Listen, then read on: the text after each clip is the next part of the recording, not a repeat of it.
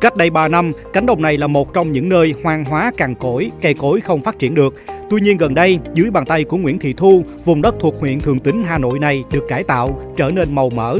Do được cung cấp nguồn năng lượng dồi dào, các loại cây dược liệu như chùm ngay, xả, hương nhu, nhọ nồi, cỏ ngũ sắc, ngải cứu, cỏ mần trầu đua nhau xanh tốt. Trong quá trình canh tác cải tạo đất, Thu nhận ra rằng việc xen canh giữa tất cả các loại cây trồng, giữa cây dược liệu và cây ngắn ngày nhằm tạo nên một hệ sinh thái tự nhiên để chính các loại cây đấy bổ trợ, cộng sinh với nhau và tạo ra được những giá trị an toàn nhất.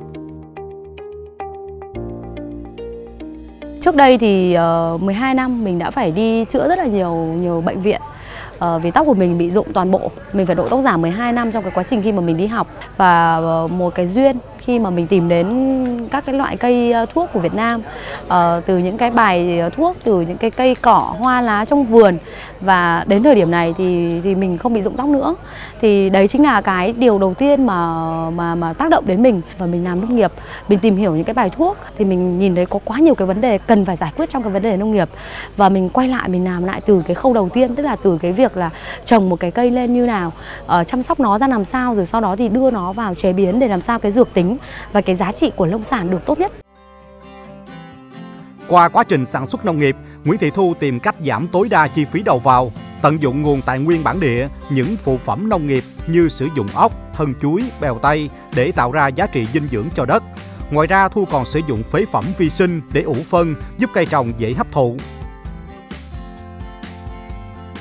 Sau 3 năm, vùng đất này trở nên màu mỡ với lớp thực bì dày của nhiều loại lá cây, đây là nguồn dinh dưỡng tự nhiên giúp cây trồng phát triển tốt.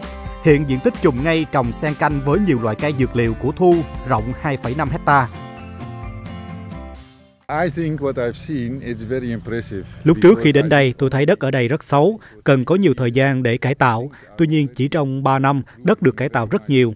Dù còn nhiều việc phải làm, nhưng với hiện trạng này tôi đánh giá rằng những gì Thu đã làm đã mang lại hiệu quả vượt cả mong đợi. Ở đây Thu đã biết cách sử dụng nguồn vi sinh bản địa tự tạo, biết sử dụng các loại vật liệu organic để phủ trên bề mặt đất.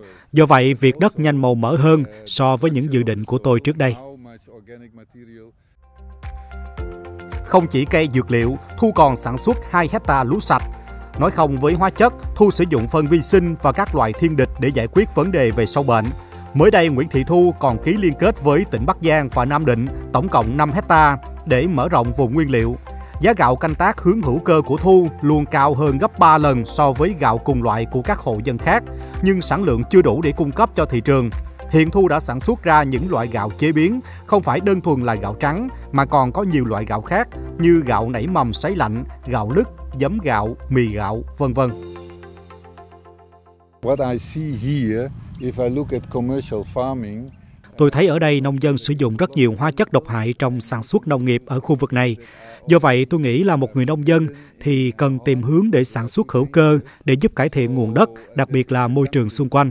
Đây là mô hình tốt và cần làm điểm tham quan để giáo dục người dân trong sản xuất theo hướng hữu cơ cho ra những loại nông sản sạch và an toàn.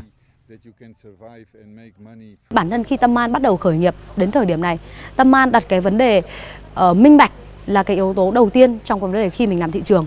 Minh bạch ở đây có nghĩa là gì? Là chúng tôi, minh minh bạch toàn bộ cái khâu mà chúng tôi canh tác, chúng tôi chế biến như nào và cái điều quan trọng nhất là sản lượng phải minh bạch.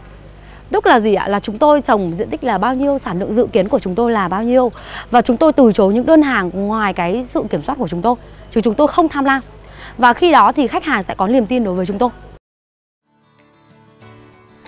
Hiện nay với sản phẩm chiết xuất từ thảo dược như trà, dầu gội hay gạo sạch, doanh nghiệp Tâm An của Nguyễn Thị Thu đạt doanh thu không dưới 400 triệu đồng một tháng, lãi ròng gần 100 triệu đồng. Trong đó riêng sản lượng trà thảo dược, mỗi tháng Tâm An sản xuất gần 1 tấn rưỡi nguyên liệu tươi, tương đương hơn 200 kg trà thành phẩm.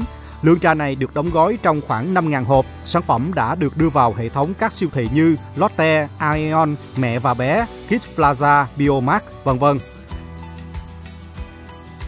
Với cách làm không quá phức tạp, thiết nghĩ những mô hình về nông nghiệp như của Nguyễn Thị Thu có thể nhân rộng đến người nông dân không chỉ ở khu vực Hà Nội mà còn ở nhiều tỉnh thành khác, từ đó tạo được hệ sinh thái về sản phẩm nông nghiệp sạch và an toàn, mang lại những lợi ích về sức khỏe của người dân.